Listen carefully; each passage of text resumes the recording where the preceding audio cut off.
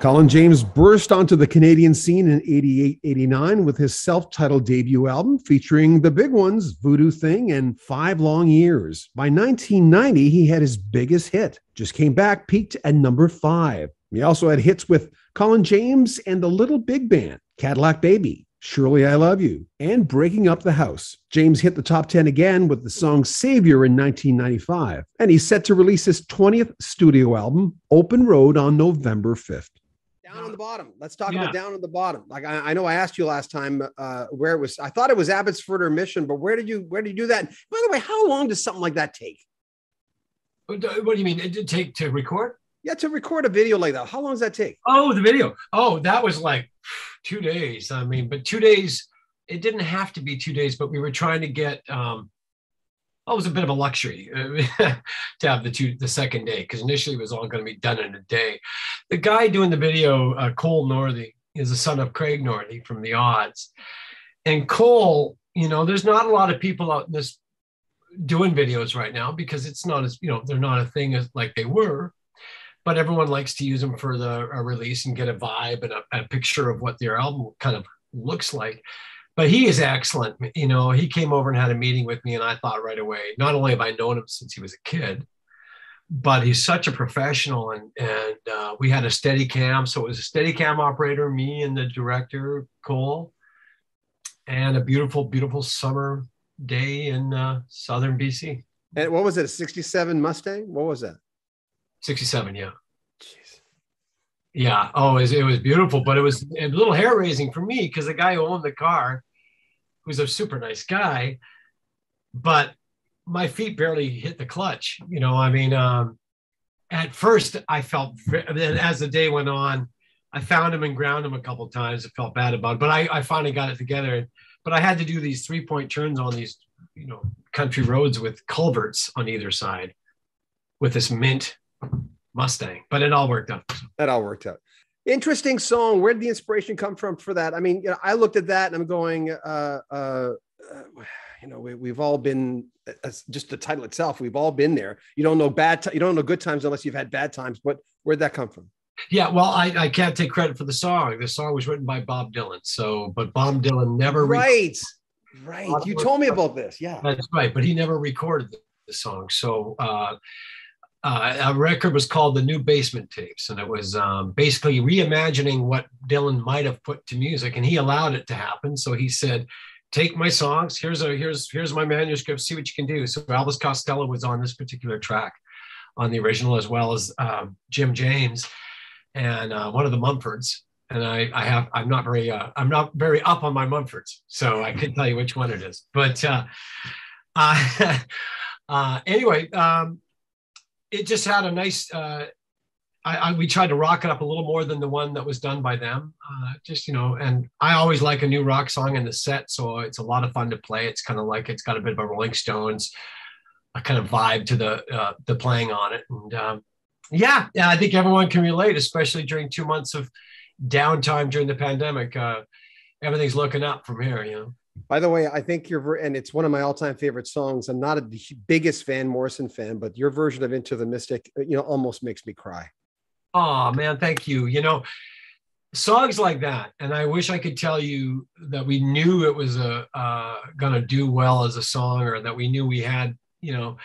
I I recorded that song twice for that record. The first time I recorded it with uh, Reggie McBride on bass, who was on a Van Morrison record uh, that he did with Dr. John, uh, into the music was it?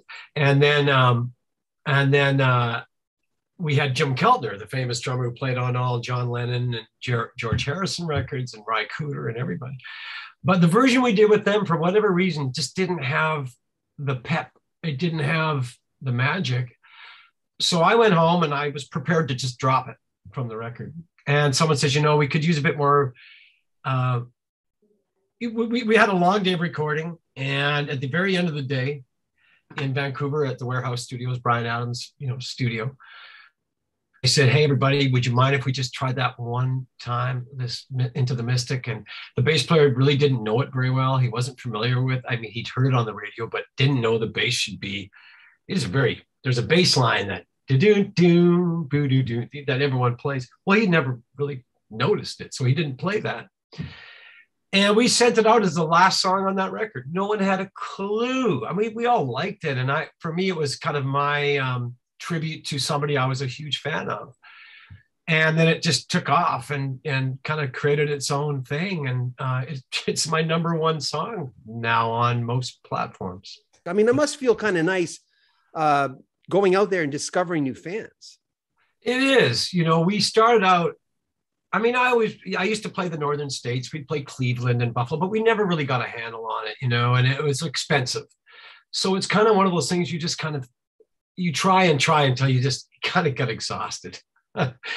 so now in my life, all this time later, um, kind of came naturally. You know, we played that, we made the Blue Highways record, and just we got a job going on some of those blues cruises with like Taj Mahal and all these different people. And it's what happened when we started on a Monday, Tuesday, Wednesday on the boat. People went, "Oh, great!" And most of the people were Canadians in in my you know coming to see. And then by Wednesday or Thursday, we had turned around and we had started getting um, people kind of going, "How is it that we don't know you?" And how is it that you have 19 records, you know, at the time, 18 records? Yeah how is it that you have that? And we didn't even know.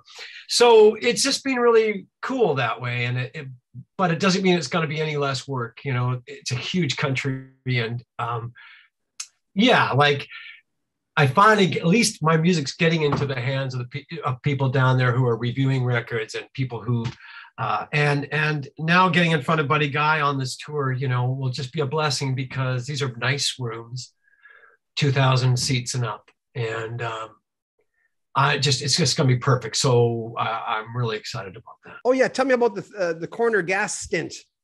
Yeah, well, the corner gas thing. Uh, Brent Butt I met through Craig Northey because Craig Northey, uh, whose son did my video, Craig plays on my new record as well on a couple tunes.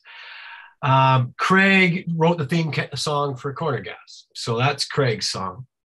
And Brent Butt, as a, uh, result is a good friend of Craig's, and I, I've met Brent a few times uh, myself. So when I got the job, though, I had no idea. Janet Wright, who's not with us anymore, but was on that show. She was my first director. I, I, I was an actor for only a year of my life. I was in musical theater, and she was my director of the first thing I ever did. So it was great to see her. She was an amazing woman. She was in McCabe and Mrs. Miller, that movie. Uh, so uh, I love Janet, and, and she was exactly who you wanted as a director when you were a young. Well, I never continued acting, but you know, I had I had lines and I had a whole book I had to learn, and I couldn't believe it was. You know, it was for me. It was just one of those things I did on the way to just trying to get to Vancouver and starting my music career for real. But I appreciated it because I was broke and I made about seven hundred bucks a week for about a year, so it was big news for me when you dropped out of school at 16 like were, were, the parents going you're freaking crazy or did they know you had something? How did that go?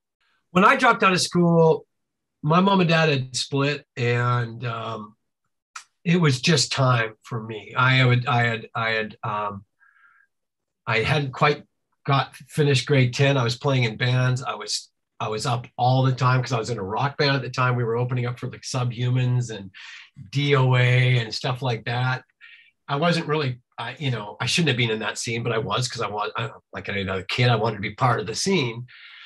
So the writing was on the wall. At one point, the principal said, you know, would Colin come to the office? And I went in there and he says, well, I don't know why you bother. You've got three classes a day and you're not going to get, you're not going to pass with those classes. And I looked at him and I said, you're right. Why am I doing, what am I doing here? Like, I realized at that moment that that I'd been spinning my, wheels for a while. And I know it's only grade 10, but I'd already been playing since I was 13 and in bands. And um, it was just time to go. So I moved to Winnipeg. I um, moved in with a family we knew and um, started playing on the street in Winnipeg and, and uh, tried to go back to high school. And it was a bust because you had to do all your own studying. You had to do your own, there was no one to tell you what to do. It's here's your book, have all your tests done by the end of the year. And that wasn't going to happen. And I got my first job at the Winnipeg Folk Festival. I got a workshop and a blues workshop with my band, the Hoodoo Man. And that led to me opening up for George Thorogood and John Lee Hooker when I was 16. That year I did Thorogood, three shows for Thorogood, three show, one show with John Lee Hooker. and kind of never looked back. You know, I moved to Winnipeg, started meeting all the blues scene there, and uh, just kept moving. Well, there's somebody in that group or anybody that that stood out for you that might have said something that really made a difference because everyone has bad days, bad weeks. Am I going to continue doing this? How can I do this? How can I make a living doing this? But was there words of encouragement? God knows I've had enough when I needed them. But for you, there was someone something that stands out? Well, what stood out to me was I used to come back to Regina because I'd get broke. I'd move to Winnipeg. I'd come back. I one day I was sitting in at, at the, the, the we we used to call it the the club. It was kind of a uh, it was kind of a members only hippie club where it's just everyone I knew would go there, and and um, somebody I knew and respected who was a fiddle player, kind of a bit of a tough nut, and he came up to me and said, "Why are you still here in Regina? Why are you? Why aren't you somewhere else by now?" And I just kind of went, "Oh my God, yeah, yeah, you're right. I'm just here because it's safe and it's easy. It's easier here." you know, and that's what caused me to, to leave, you know, and I did about a year and a half in Montreal, um, that was I was really broke and, and uh, we had cockroaches and mice and had to play in the subways. Ended up in Vancouver, you know, eventually, finally, and it just kind of kept moving. But um, he gave you permission almost, you know, it's weird.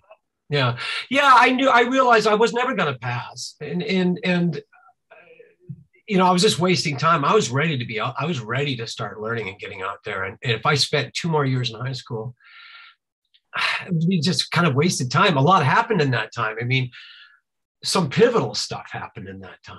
So it was the best decision for me, but I can't I can't wish that on other people. I mean, for parents of kids who are playing, people ask me quite often, you know, what you know, what was the method? And I said, there's no method. I mean, you just have to want it and really have a blind faith that it's going to be something that'll work for you. And the rest of it's just being honest with yourself if that's going to be true or not you know okay when you when you left home i'm just kind of curious and it's a question i ask all artists you're leaving home mom and dad i got my pots and pans i'm getting out of here what was in your what was in your record collection then well i lived out of a garbage bag for quite a number of years so there was no by the time i got to winnipeg nothing came with me but a garbage bag full of clothes um, at the end of the day. What were you listening I to remember, when you were 16? What were you like? What, James Cotton. Jay, well, so I moved to this little place in Winnipeg uh, that had a turntable in the basement and Bruce Springsteen. So I remember listening a lot to Born to Run that year. But that year, uh, I went and saw James Cotton at the Winnipeg Folk Festival, and there was probably 18,000 people. It was the final show of the night. So there was a pretty big festival. Maybe big, maybe because I was younger, it seemed huge to me and he came out and just slaughtered. It was like because folk festivals, Winnipeg always got a fair amount of up tempo stuff as well. Not unlike the Edmonton Folk Festival, they've always been pretty good at some folk stuff, some world music, and then you know a pretty good hit of uh, some pop pop music as well. But anyway, Cotton came up. I was 16 years old. I saw him sing and play the harmonica, killed it, and just killed. The audience were just. It was just so good, and it just kind of changed everything for me with the first album were was there a part of you that was surprised i mean with the first album it just came out of the gate and i mean people are telling me about you and it's like you know people are talking you know in radio we're always told to, you know you can't do it as much anymore but say something that at least once in your show that someone at the water cooler might say something about but when you're talking to you know music people and they're talking about people and i mean there was a real buzz right which uh, was the best thing you can have but did you know when that I know there was a lot of producers, a lot of ki- uh, cooks in the kitchen for that one. Yeah. And one producer, Tom, didn't want yeah. you to do blues. Uh, yeah. uh, did you know at the end of it that you had something? Not necessarily. I mean, we were going on all, you know, things were, you know, we were playing. We, I knew, I mean, I look back at that record personally and I'm not happy with it. You know, I don't know if I ever will be happy with it, but I sound like a child to me now when I listen to those tracks. Was it because maybe back then you didn't know what you didn't know, like a lot of artists say about albums? But how, uh, what, what's your take on when you look at it now? Well, you know, well, I just think I sound it's, it's a very mixed bag. That record it, it jumps all over the place. There was five different producers. Tom Dowd should have been a match made in heaven, but he really he had already recorded Clapton and John Coltrane and you know, and he wanted me to be like the Eurythmics. As he said, I think you should be making music like the Eurythmics. And I just kind of went, I don't know, you know. And so we ended up getting nothing, spending a whole lot of money, and I had to fly to LA and do the whole record with Danny Kortchmar. Um, and Danny Kortchmar worked with, you know, Don Henley, and that was yeah. his fame, and James Taylor and everybody. And I loved working with Danny but I also had Neil Dorfsman on that record, who would work with the Dire Straits. I mean, it was just a very expensive record. So it's not what you want for your first record. Bob and Rock was was Bob Rock part of that? Bob Rock did the first two singles, Why'd You Lie and Five Long Years. Yeah. And um, you know, I just think it could have been a better record. I liked my second record better. I think uh, I think it was more it was more R&B and blues. We did it in Memphis for that reason, and Joe Hardy was the producer but I think out of all three, I'm probably most proud of uh, the Little Big Band one because I think you know after two records like that, and I, you know I'm really I'm I'm bummed that Stevie Ray Vaughan didn't hear Little Big Band one because I knew, you know, I felt like maybe I went too pop on the first record and and um, and I don't have any regrets. Listen, I love Five Long Years. It's not it's not I I do I I'm very proud of that song. And it's hard, you know. I think some people have the luxury of making their best record when they're a kid, mm-hmm. but not everyone. And you got to be there to grow, you know. And I just thanked, you know, I'm thankful that I've had 20 records to grow because, you know, you're not you're not always going to have it together when you're in that first record. You know, you're going to do your best.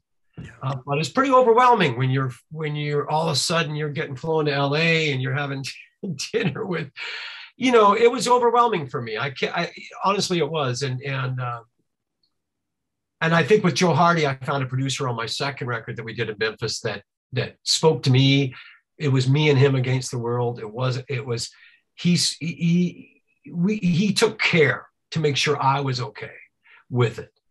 And I loved Joe. He was the best. He was Billy, one of Billy Gibbons' best friends, and and I miss him dearly. He passed a, uh, a few years ago now. Mm-hmm. Yeah. But anyway, and then and then uh, then I had the you know Chris Kimsey came to do the little big band, and I guess what I what I mean to say is I really had a chance to put it on the line and say I mean it. I do love this stuff. I'm not just masquerading as a as a blues artist and playing pop, you know. So it was a chance for me to really go on, you know, throw throw my cards down. You know? Tell me about Stevie Ray Vaughan. Well, I just have nothing but uh, fantastic memories, and I think the farther I get away from the times we did spend together, the more I realize what he did for me, you know, and and um, you know, selflessly, and I can't imagine his everyone wanted me to be on the road when he when he when he took me on the road, and I know what it's like. It's a pretty it's it's uh, a place where you have uh, uh, where you can go and you know buses or you know bands need them to get away from everything. So it's like you know, I was probably invading that bus on Stevie's uh, allowing me to. And they gave me a, you know, they let me put my guitar in the bay and they let me, they let me, uh, they bought me a room. I had no money. I was on the road for a couple weeks. So that must have cost a mint, you know, uh, whatever it was a night for my room. And uh, I just, you know, he bought me plane tickets and uh, uh, I just have, you know, we, we just became fast friends Stevie and I. From the minute we met each other in, in Saskatoon backstage, we had a lot of the same references. We a lot of the same musicians we liked. And he was uh, just a great guy. And then I, I, guess the worst thing that happens when someone is lionized and and um, you know he's become like a Bob Marley figure in, in the you know in the Jimi Hendrix you know figure, and but what what what's forgotten in that what's forgotten in that is a guy who was just a, a funny awesome guy you know and a talented guy beyond belief you know. I mean watching him play was like scary. It was actually frightening because uh, the way he the way he tapped in.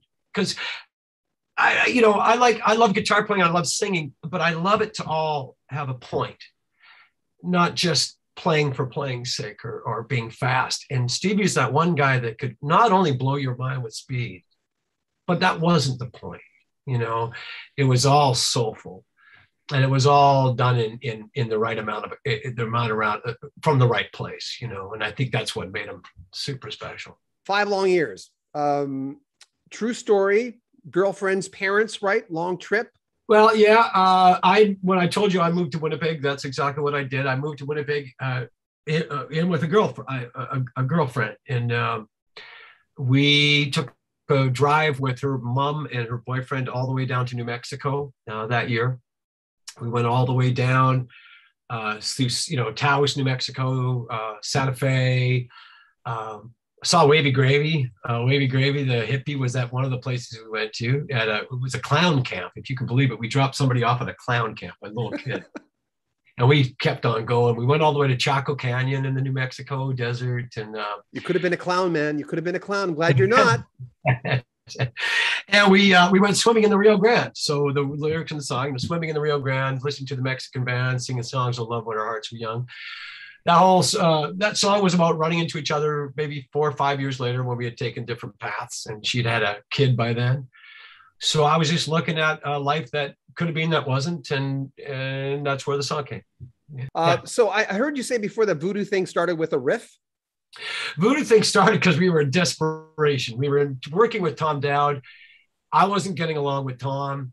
We weren't getting stuff down on tape. We were even having trouble getting another version of Why'd You Lie, which never made it out of that studio because the first original was so good. At, well, why would you want to redo it anyway? We ended up with some very terrible version of it. And uh, I was panicking. You know, here we were, money was flying out the door, my first record ever not getting along with the producer. He wanted me to sing it in a quiet voice. He wanted me to go way down south where the mangroves grow, like a story like like uh, Polk Salad Annie by, uh, you know, uh, and it just I I just didn't feel that was right, and I had to say to him, well, I don't agree, you know. So we ended up having to stop working together, and um, I wrote it in my hotel room. We were down there, so way down south where the mangroves grow, deep in the swamp, down in the bayou. So we were living in South Beach, Miami, taking drives to the Keys once in a while, and getting used to that. This is this is South Beach, Miami before it was gentrified. So all those Art Deco places are still there, but only two of them have been redone and have fancy restaurants. The rest is like pretty iffy uh, at the time. This is 1980, uh, 88, 87, 88, I guess and 87 80 yeah something like that so anyway that was uh that was a desperation song and i actually remember phoning and saying i'm going to call it Voodoo thing and my, my manager saying you can't because a voodoo child you just can't and i said i don't agree so again i had to stick i don't agree and i stuck to my guns okay number five hit just came back rocker and uh, that one's a complicated story so i didn't write the original uh, the original was written I rewrote the song. It was brought to me. And uh, my friend Daryl Burgess uh, uh, had, had, had written it. And the words weren't quite there for me. You know, when, uh, when I first saw you, I heard a, bl- a I, I saw a blinding light, uh, a woman child wrapped in dynamite. That was the original lyric. So I had to change some lyrics. So uh, when I first saw you, I heard the angels sing. Uh, I thought of Adam and Eve and the love th- and that love thing. So I had to change it. And, and, I have to be honest, I wasn't a big fan of it. So when we were demoing it, we came up here and I did a demo of it. Before we sent it to Joe Hardy, I actually tried to kind of sabotage. I thought it was like, I thought it was kind of dumb. So I uh, I actually tried to ruin it uh, and we sent it to the producer and the record company. Everyone came back saying, "Do you think that's the that's the song?" I went, "You've got to be freaking kidding me!" So here's an example where I was dead wrong. So there's other ones when I was right, and I was wrong about stuff with Tom Dowd. By the way, Tom Dowd uh, actually wanted me to listen to some songs by a great songwriter named uh, Jerry Williams, and this is where I got it wrong with. If I had I listened to Tom, I probably would record Running on Faith before Eric Clapton.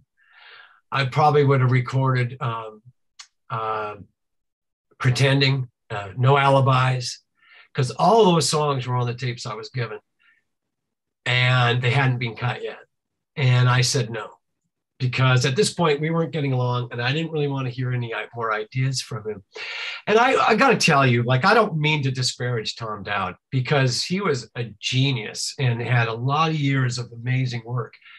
It's just an example of when just it just wasn't going to work for us. but he was, I mean, his legacy is massive. Bobby Darin, uh, the shark has pretty teeth there, you know. Mac the Knife, that was Tom Dowd, you know. John Coltrane, uh, Ornette Coleman, you name it. I mean, the Giants, Eric Clapton, uh, Allman Brothers, you know. Yeah. Okay. In high school, were you that music guy? Yes, but I flunked music, so I was a music guy who didn't go to who didn't go to class. Okay, Stones or the Beatles? Stones. Oh, I knew you'd say that. Paul, John, George, or Ringo? John. What side outside of music? What are you really good at? Can you cook? Can what do you do? I used to cook. I don't cook anymore. Um, what would be a hidden talent? Of, I'm a good speller. I don't know why, because I only have grade 10 education, but I just I, I tend to spell well. I don't know why that is. Um, I, I'm you know really uh, you know I, I can't really think of anything. I, I'm a history buff, but that's not a skill. Oh, I know that that that that changes your wiring being into history. I think that's a I call I would I consider that because I yeah, love history too. Love, I, I, I'm fascinated by history and even ancient history, like even more so ancient history. Like I just read a, a book called The Ancestors that talked about uh, DNA, how they can go back to a lot of the things they discovered years ago with DNA now and, and change theories of when we got here, when people were in caves in England and all that stuff. But, uh, you know, I can read some pretty dry stuff and be pretty happy. Well, they used to say you can't change the past, and my, my uncle once told me, he says, "Well, yeah, but if you find out Uncle Bob was at was kind of grumpy in '76, you find out uh, he was suffering from whatever, then your idea, your perception of the past at least changes, and that's what that's what's great about DNA. God, we're finding those serial killers. That's all I'm saying. Okay, um, what makes you cry? Oh, jeez, what makes me cry? Don't tell me Hallmark shows. Oh, I like I like those. Oh no, God, I would not. I don't. I don't do that. I would just, you know, I don't know, sentimentality. I suppose. You know, you think about. I I, I go back over the years of raising kids, and and uh, we had two kids, and watching them grow, and all those years that you'll never get back. You know that that time moves on, and that's the way it goes, and that's just the end of the story. I guess that. High point in your career so far. You know, I feel it's still I still waiting for it, man. You know, uh, but good attitude. but high point in my career, I guess. You know, yeah, I'm still waiting for it. I, I, you know, it's it's. There's been some great moments, but they're, they, I can't say they're the high point. Can I tell you something? I, I find that's one of the toughest questions I ask artists, and I'm, I'm, I was surprised by that. But having asked it so many times, uh, people are going. A lot of folks are saying the older artists are going, still coming, man yeah. on the way. Yeah, yeah. Well, that's kind of feel. I, you know, I, maybe the first time I played Massey Hall, I realized that I'd gotten out of the bars and that I, I I made a big move with the manager at the time to get out of bars for for good. And it was a scary decision. And because it meant you had to reinvent yourself and be perceived in a new way. And I, I didn't have the faith that, that would happen. But we we did it so I remember being on Massey Hall one day and saying, we did it. I, I think I had two nights in a row and I thought, awesome. What are your top three guitars? Lady is the blue. She's Lady I got when she was like, uh, I got it when in 1988 and I had a Fender endorsement. So they gave me three guitars. I only have one of them left. And um, it's been with me through playing with Stevie, it's played with Buddy Guy, it's played with Bonnie Raitt, it's played with uh, uh, ZZ Top, it's play, it's just played with uh, Steve Miller, it's played with just all kinds of people.